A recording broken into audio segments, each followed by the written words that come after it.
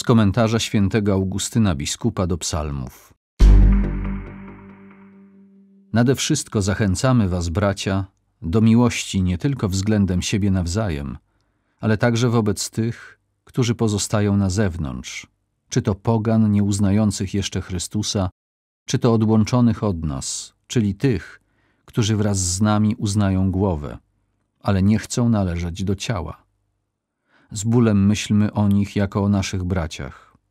Chcą czy nie chcą, są naszymi braćmi. Nie byliby naszymi braćmi, gdyby przestali wołać Ojcze nasz. Mówił niegdyś prorok.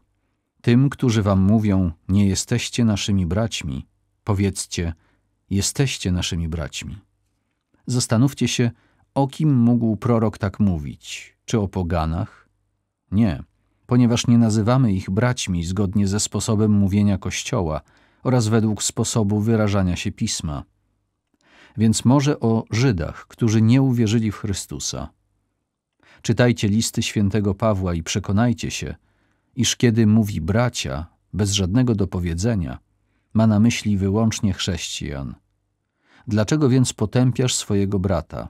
Albo dlaczego gardzisz swoim bratem? A na innym miejscu dopuszczacie się niesprawiedliwości oraz krzywd, i to wobec braci. Ci, którzy nam mówią, nie jesteście naszymi braćmi, uważają nas za pogan. Dlatego pragną chrzcić nas ponownie w przekonaniu, iż dają nam to, czego nie mamy. W tym właśnie wyraża się ich błąd nieuznawania nas za braci. Dlaczegoż więc, powiedział nam prorok, odpowiedzcie im, jesteście naszymi braćmi, jeśli nie dlatego, że uznajemy w nich to, czego nie powtarzamy. Oni więc, nie uznając naszego chrztu, nie uważają nas za braci. My natomiast, nie powtarzając udzielonego przez nich, ale uznając ich chrzest za swój własny, mówimy: Jesteście naszymi braćmi. Jeśli powiedzą wam, dlaczego nas szukacie, czego chcecie od nas, odpowiedzmy: Jesteście naszymi braćmi. Jeśli powiedzą, zostawcie nas w spokoju, nie mamy z wami nic wspólnego, ale my mamy wiele wspólnego. Wyznajemy tego samego Chrystusa. Powinniśmy zatem być w jednym ciele, poddani jednej głowie.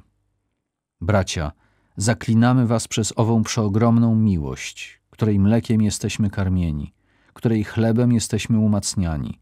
Zaklinamy przez Chrystusa naszego Pana, przez Jego łaskawość. Pora już, abyśmy okazali im wielką miłość i obfite miłosierdzie, prosząc Boga, aby dał im kiedyś trzeźwy osąd, aby się opamiętali i przekonali, iż nie mają niczego, co mogliby przeciwstawić prawdzie. Pozostała w nich jedynie choroba zawziętości, która tym bardziej osłabia, im bardziej czuje się mocną.